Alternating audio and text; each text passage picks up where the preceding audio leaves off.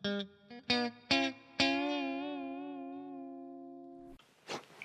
dan 23, ker sem začel graditi svojo časovno palico.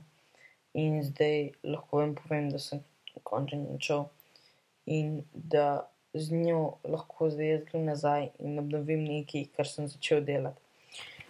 Zdaj ne vem, kako se je vam zgodilo, da ste nekaj naredili in, ste, in se vam zalomili in ste pol hoteli iti nazaj v čas in to spreobrniti, popraviti, nekaj novega narediti, pa, pa vam ni radilo zaradi tega, ker nas je, vas je omejevala, kako bi rekel, znanstvena revolucija vašega časa.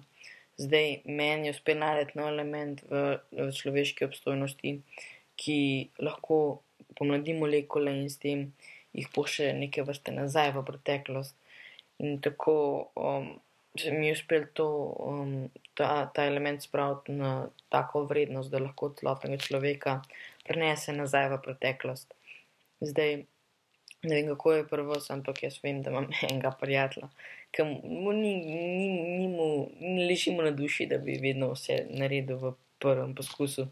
Zato vem, da, mi, da bi mu to ful prav prišlo in da bi lahko naredil nekaj novega, v bistvu ne bi rabu uh, skozi, uh, recimo, vem, enkrat je bil, to je smešna zgodba, enkrat je bil na zmenku, k. Um, se, v bistvu se, se je zelo umila kratko. Glavno, zdaj mi je rekel, da ima spet neko novo punco, upam, da se ne bo ponovili isto.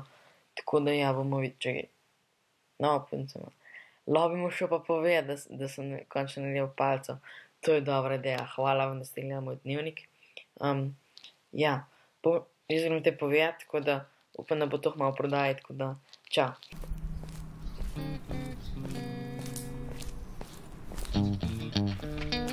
Že, leto, časovna palca, dejansko te lahko teleportira nazaj ali pa naprej v času iz kjerkoli kraja v kjerkoli kraj. A ni to hudo?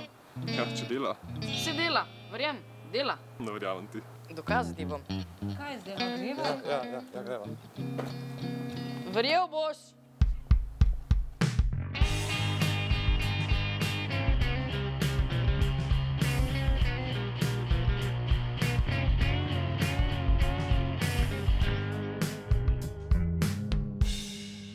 Veš, sem že bral v slovenskih novicah, a ne, da je Kim Jong, Ju, Kim Jong iz Severne Koreje, vodita, ta Ja, glava. No. Uh, ja, da bo pa šla slovenska skupina, ena mojih najljubših, uh, Liebach, Leibach, Leibach. Leibach. La, Ja, že, ne. Uh, da bo prš, da bo prišla k njemu nastopati, pač na zasebno zabavo ali neki.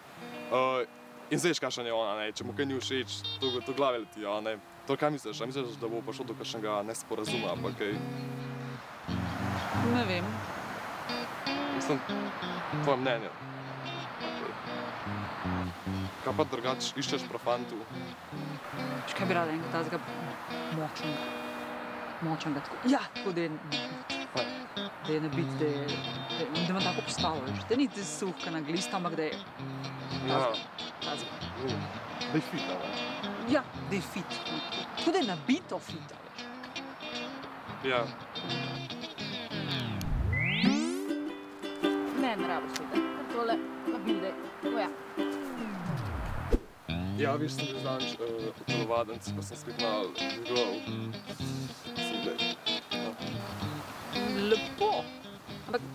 Kaj meni tudi všeč na fantu? Da zna ful dobro kuhati. Z drugače ne, sem lahko tudi postalen kuhar, če hočeš. Ok, ne rabiš več ne dela. Ja, pridem. Mm, ali pa paprika s točnim fižolom. Sam če daš pečošega fižola, to pa lahko napenja, a ne? A, pridem ti. Lahko se vrneš, ko si večji.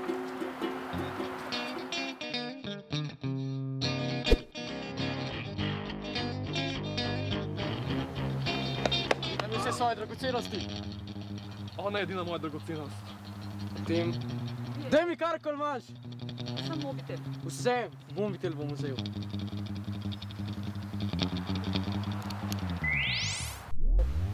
Evo, imam čala, pištolo, kapo. Sama sta. Preveč ropov je bilo že, neuspešnih.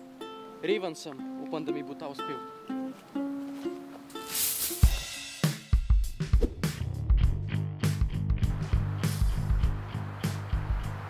Če pa spremenim njo, da bo bolj katanže.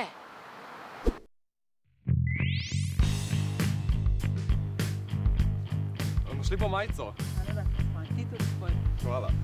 Uh, še kaj sem te hotel vprašati, uh, kje bende poslušaš? Kaj? Vesele štajerke, Jana Prestanjaka, One Direction, O, ja, oni so malo dobri, ja. a ne da, ful fajn muzika. Lahko jih gremo v kino gledati, podajo film. Jaz sem nešel karto dobila. Kam jaz.